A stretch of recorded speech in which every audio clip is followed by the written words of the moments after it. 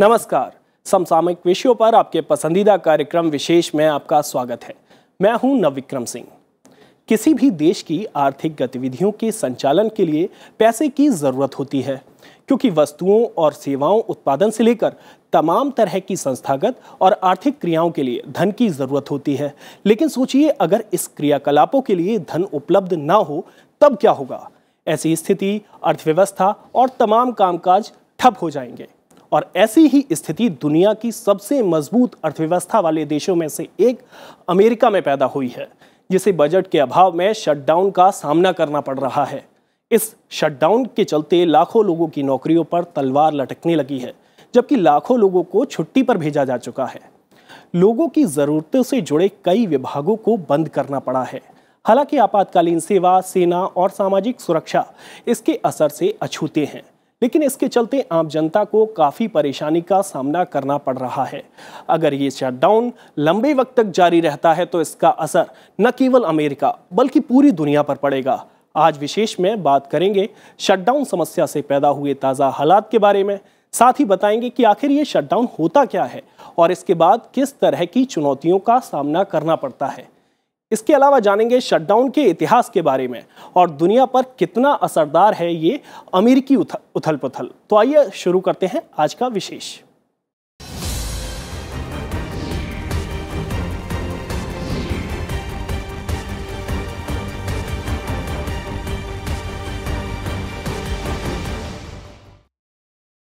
America एक बार फिर आंशिक शटडाउन की चपेट में है। 2018 में तीसरी बार हुआ है जब राष्ट्रपति डोनाल्ड ट्रंप की संघीय सरकार को शटडाउन का सामना करना पड़ा है। बीते 40 साल में पहली बार है जब अमेरिका में एक साल में सरकार का काम तीन बार ठप पड़ा है। अमेरिकी अर्थव्यवस्था पर खासा असर डाल रहे। इस शटडाउन के जल्द खत्म होने की संभावना भी कम है। राष्ट्रपति डोनाल्ड ट्रंप ने कहा है कि संघीय सरकार का आंशिक शटडाउन तब तक जारी रहेगा जब तक यूएस मैक्सिको सीमा पर दीवार बनने के लिए फंड उपलब्ध कराने की उनकी मांग पूरी नहीं हो जाती।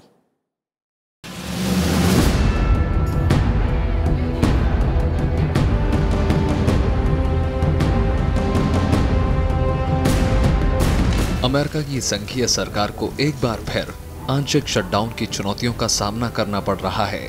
डोनाल्ड ट्रंप के राष्ट्रपति बनने के बाद से ये तीसरा मौका है जब सरकार का कामकाज आंशिक तौर पर ठप पड़ा है। कई सरकारी विभाग और एजेंसियाँ राष्ट्रपति डोनाल्ड ट्रंप और कांग्रेस के बीच बजट को लेकर जारी गतिरोध के कारण हफ़्ते के अंत में बंद रहे। शटडाउन की शुरुआत पिछले हफ़्ते शुक्रवार को आधी रात से शुरू हुई थी। आंशिक शटडाउन की नौबत इसलिए आई क्योंकि अमेरिकी कांग्रेस की कार्यवाही शुक्रवार को संघीय खर्च का बिल पास किए बगैर स्थगित हो गया।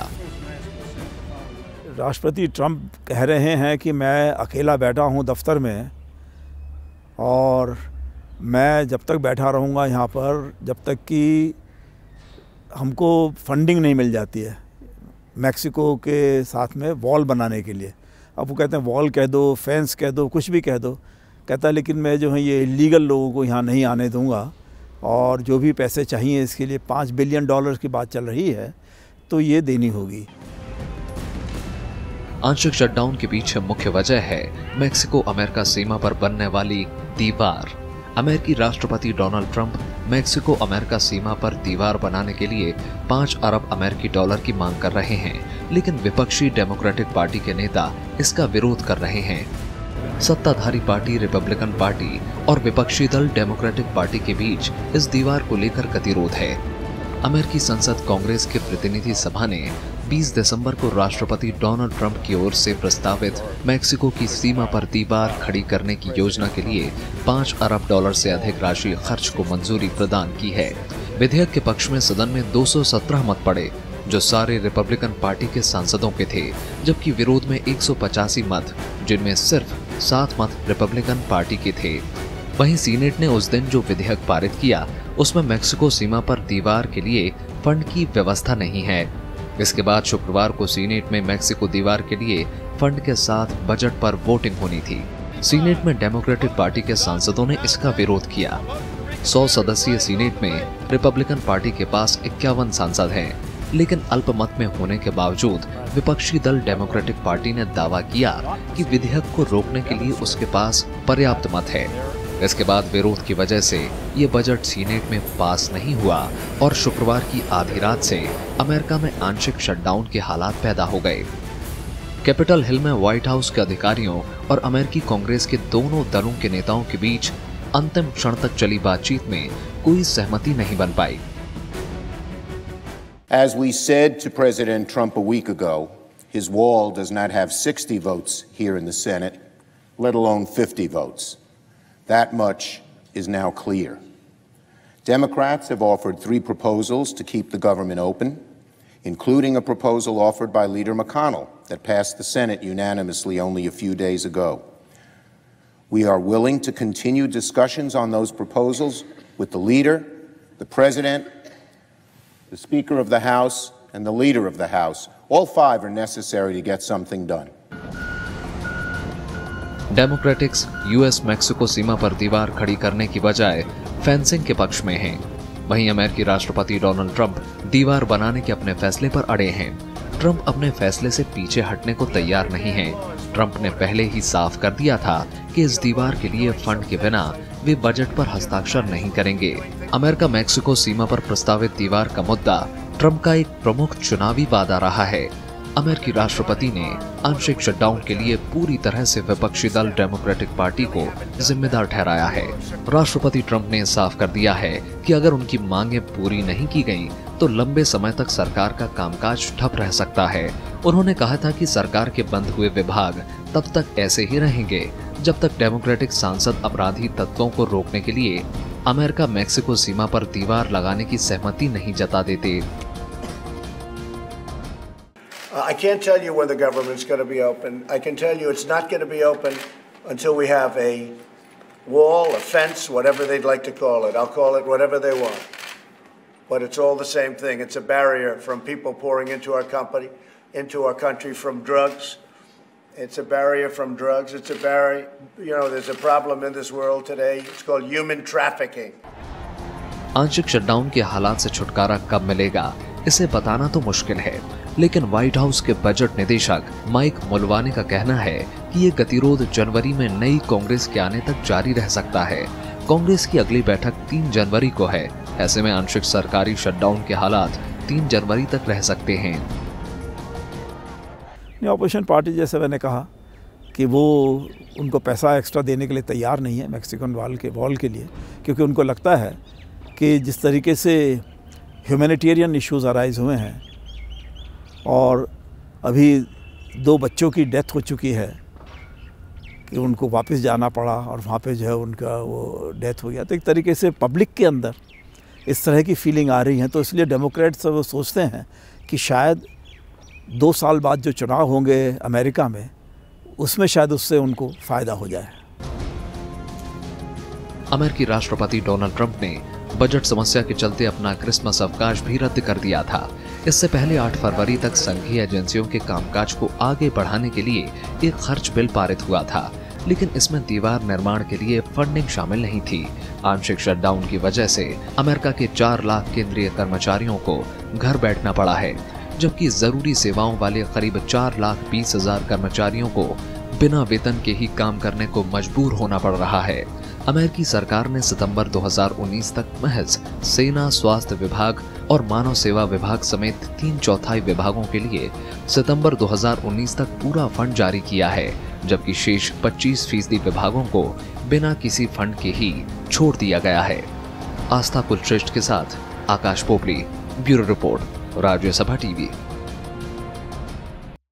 Shutdown का सीधा संबंध अर्थव्यवस्था से है।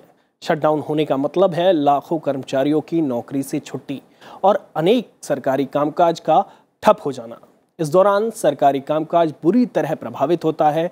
शटडाउन की वजह से लाखों संघीय कर्मचारियों को नौकरी छोड़कर घर बैठ जाना पड़ता है, जबकि लाखों कर्मचारियों को बिना वेतन के काम करना पड़ता है।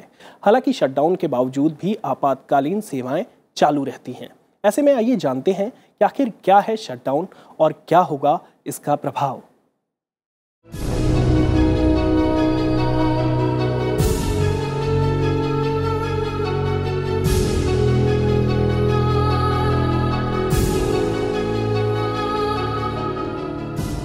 वित्तीय संकटों से गुजर रहे अमेरिका को आर्थिक मंजूरी प्रदान करने वाले बिल को मंजूरी न मिलने से ट्रंप सरकार की मुश्किलें बढ़ गई हैं। इस वजह से अमेरिका में शटडाउन हो चुका है, जिसकी वजह से लाखों कर्मचारियों की नौकरियों पर तलवार लटकने लगी है। हालाँकि इससे यूएस मिलिट्री और आपातकालीन सेवाओं पर कोई प्रभाव नहीं पड़ेगा, वे अपना काम करते रहेंगे। दरअसल संयुक्त राज्य अमेरिका में शटडाउन तब होता है, जब कांग्रेस बजट से जुड़े विनियोग विधेयक को पारित करने में विफल रहती है, या फिर राष्ट्रपति उस पर हस्ताक्षर करने से इनकार कर देते हैं। विनियोग विधेयक के ज़रिए सरकार के संचालन और एजेंसियों के लिए वित्त की व्यवस्था की जाती है। इस मामले में अमेरिका में लागू एंटी डिफिशियंसी एक्ट के तहत देश में पैसों को लेकर दिक्कत होने पर संघीय कर्मचारियों को छुट्टी पर भेज दिया जाता है। उस हालात में इसे शटडाउन कहा जाता है और जब सरकार शटडाउन की घोषणा करती है, तब इस दौरान कर्मचारियों को काम पर आने के लिए मना कर दिया जाता है। उन्हें सैलरी भी नहीं दी जाती है। इस स्थिति में सरकार को संघीय बजट पास कराना होता है ऐसे में सरकार संघीय बजट लाती है जिसे प्रतिनिधि सभा और सीनेट दोनों सदनों से पारित कराना ज़रूरी होता है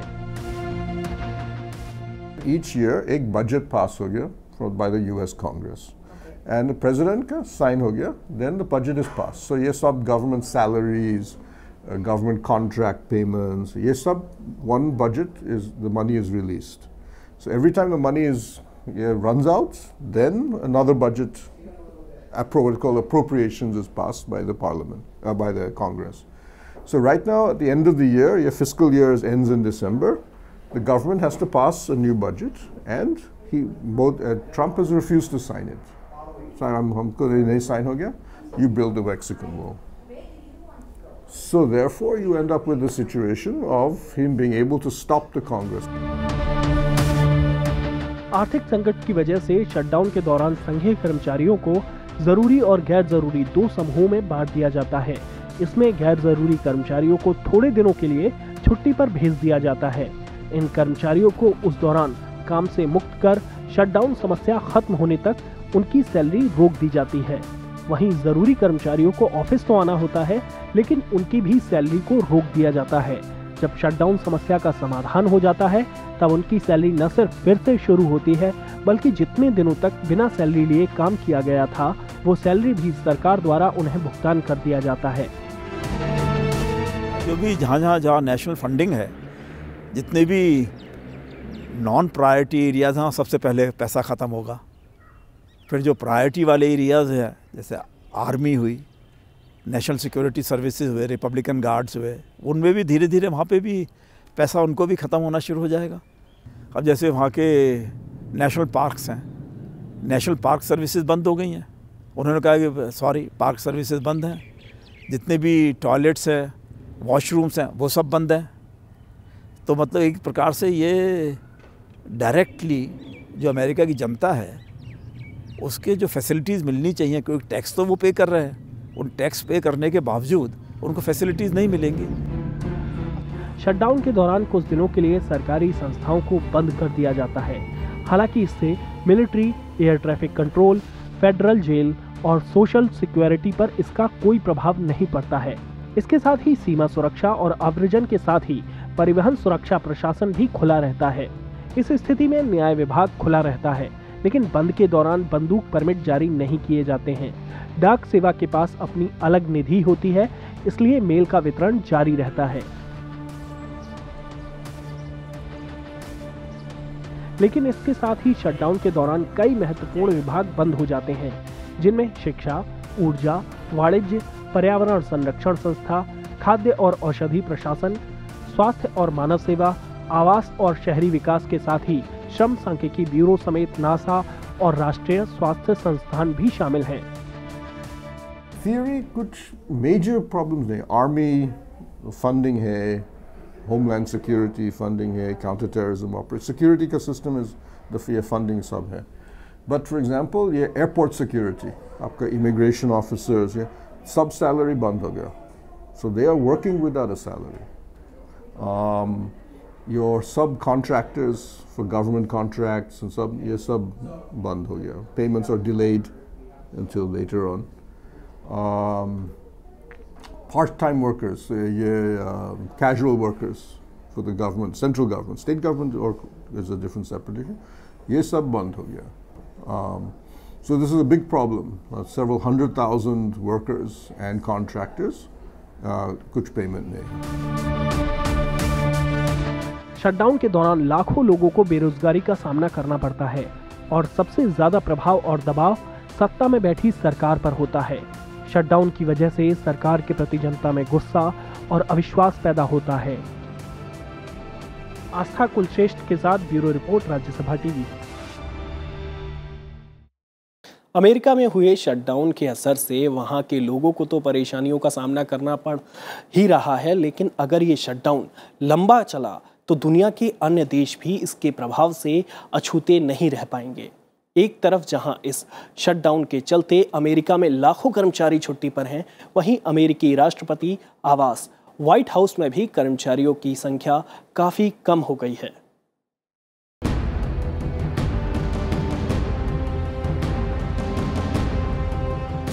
अमेरिकी राष्ट्रपति डोनाल्ड ट्रंप के राष्ट्रपति बनने की पहली सालगिरह से पहले ही देश में शटडाउन के साथ एक नया आर्थिक संकट उठ खड़ा हुआ है। इस शटडाउन के असर से राष्ट्रपति आवास व्हाइट हाउस भी अछूता नहीं है। शटडाउन के चलते लोगों को परेशानियों का सामना करना पड़ रहा है। अगर ये शटडाउन कुछ दिनों में खत्म हो जाता है तो उसका खास असर नहीं होगा। लेकिन अगर ये लंबा खिंचता है तो उसका असर न केवल अमेरिका, बल्कि पूरी दुनिया पर पड़ेगा।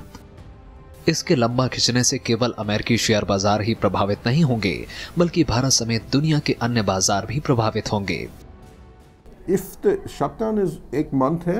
कुछ प्रॉब्लम नहीं।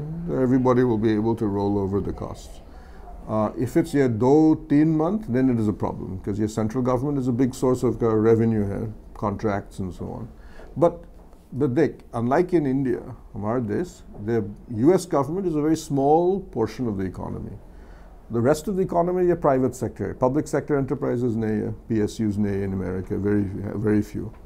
Uh, yes, sub will continue to. So the private sector will run. Only those which depend on government contracts, हैं, but that's a very small group of companies.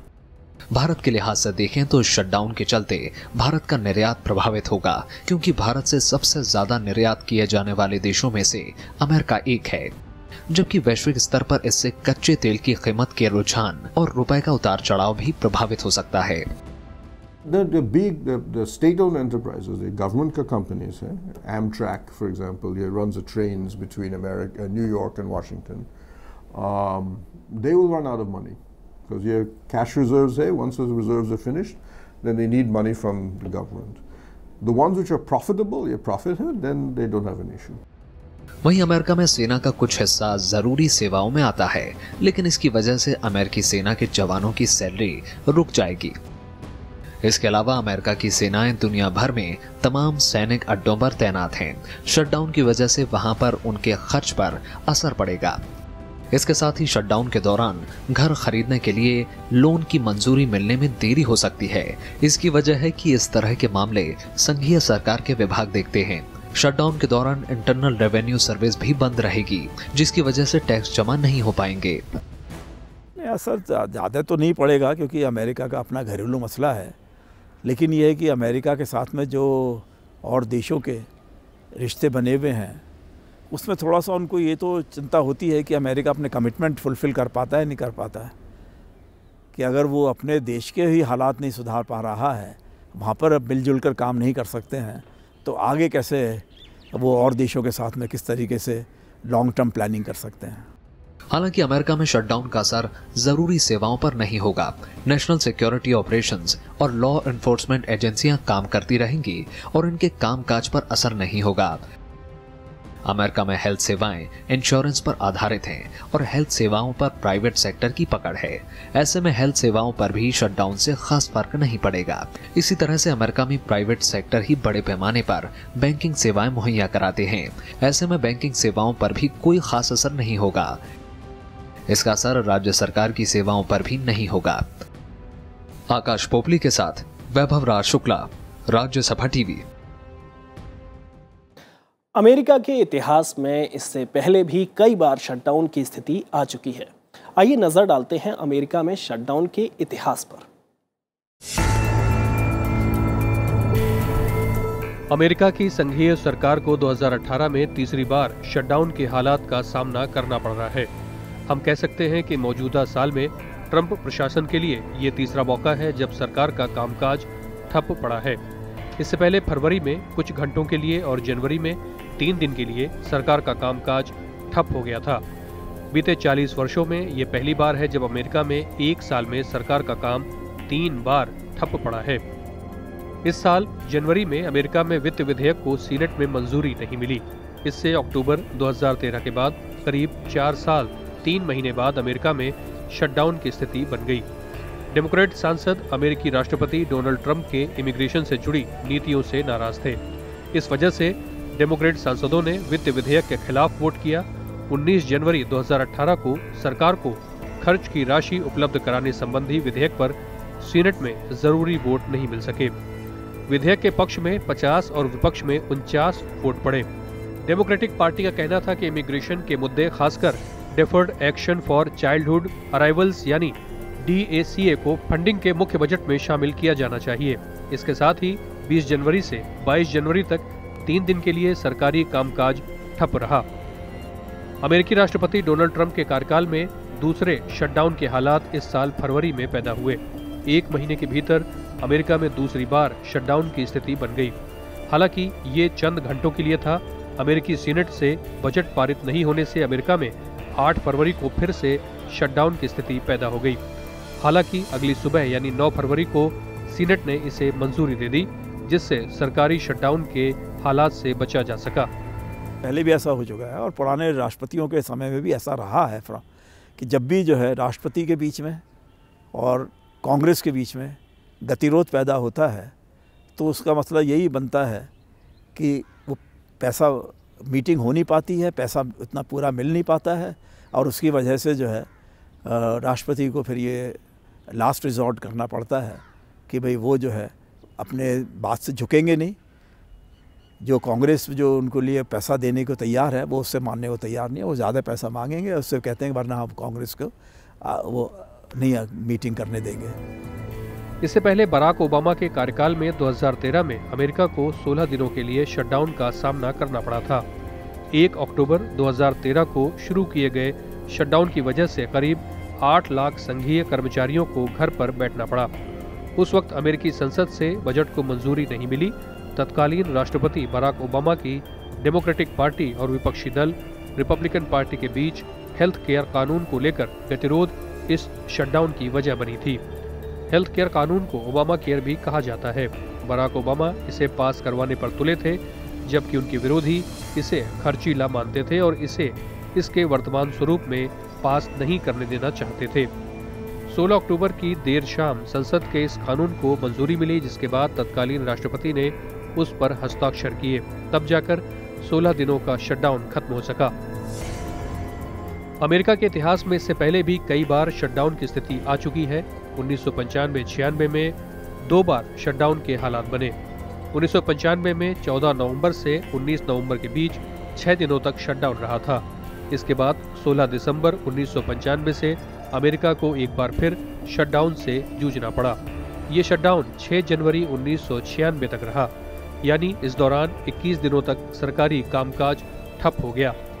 उन्नीस सौ पंचानवे छियानवे के शटडाउन के लिए उस वक्त के डेमोक्रेट राष्ट्रपति बिल क्लिंटन और विपक्षी दल रिपब्लिकन पार्टी के बीच मेडिकेयर सार्वजनिक स्वास्थ्य, शिक्षा और पर्यावरण के लिए फंडिंग के मुद्दे पर गतिरोध जिम्मेदार था।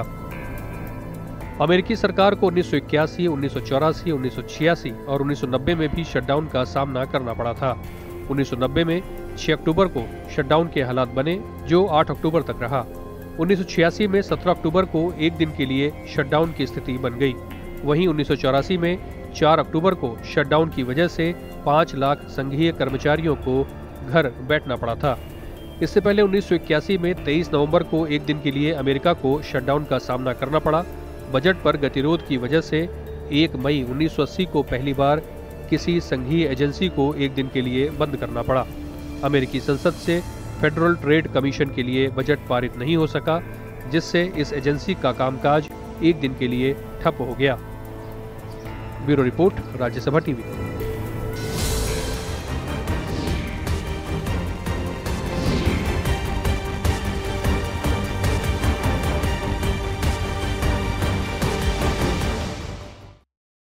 विशेष में आज इतना ही। आप हमारा ये कार्यक्रम राज्यसभा टीवी के यूट्यूब चैनल पर भी देख सकते हैं। मुझे दीजिए इजाज़त। आप देखते रहिए राज्यसभा टीवी।